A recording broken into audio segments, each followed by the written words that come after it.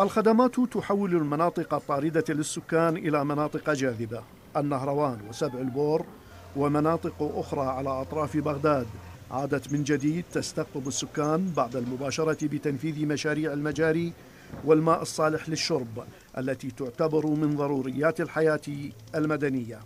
أكو فرق بالنهروان صار يعني تحسن عمل المجاري المي أكو تحسن به بس إحنا اللي نتمنى يكون هاي المشاريع تستمر. العمل مستمر. الحمد لله والشكر. 24 ساعة مستمرين.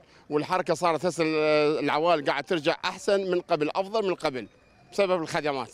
تنفيذ المشاريع الخدمية انعكس بشكل إيجابي على أسعار الدور والأراضي السكنية التي تشهد إقبالا من قبل المواطنين من داخل وخارج هذه المناطق.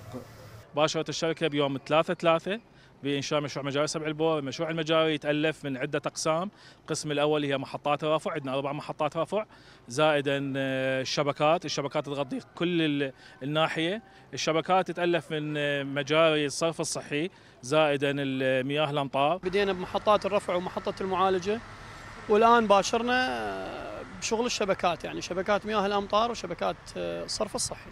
وباكتمال المشاريع الخدمية المقرر إنجازها بعد أربع سنوات من المتوقع لهذه المناطق السكنية أن تساعد في تخفيف الزخم السكاني في العاصمة بغداد خصوصا وأنها تمثل بيئة ملائمة للسكن مع وجود المناطق الخضراء من حولها. من بغداد رزاق العقيلي العراقية الإخبارية.